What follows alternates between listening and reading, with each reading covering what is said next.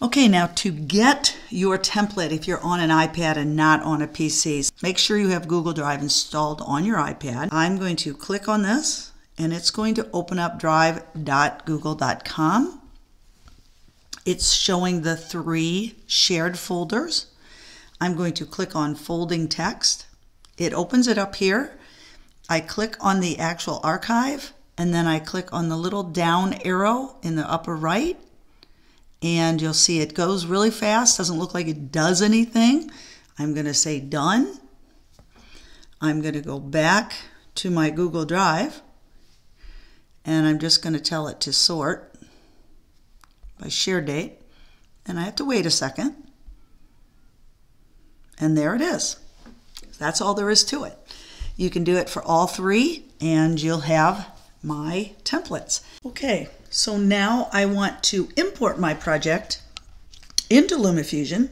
So I'm going to go to the very, I'm going to make sure I'm in the project management, which is using this button right here will take you to project management.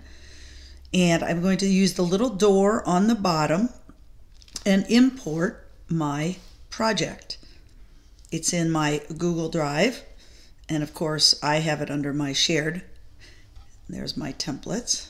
So you have to know where you put it in your Google Drive.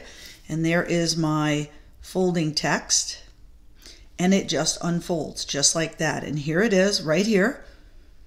And it will say folding text, Peppy Techie, please give me credit. I click on it and it is all there.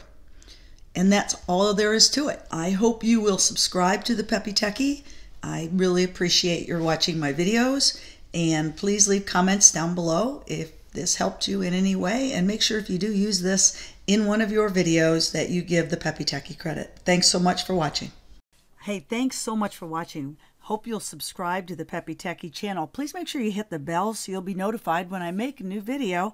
And leave your comments down below. Your questions, your thoughts, even your advice is much appreciated. And don't forget to smash that like button. Thanks for watching the Peppy Techie channel.